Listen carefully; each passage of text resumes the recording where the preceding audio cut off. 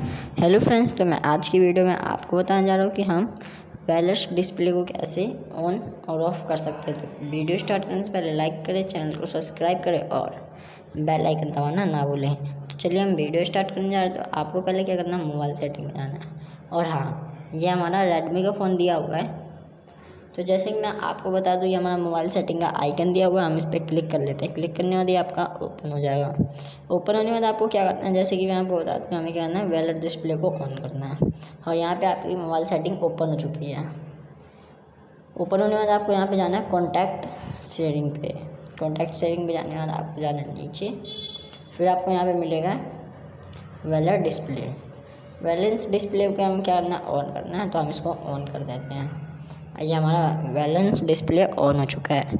तो यहीं पे हमारी वीडियो समाप्त होती है और अगली वीडियो के लिए हमारे साथ बने रहें। अगर आपको वीडियो अच्छी लगी तो लाइक करें चैनल को सब्सक्राइब करें और बेल आइकन दबाना ना भूलें। Thank you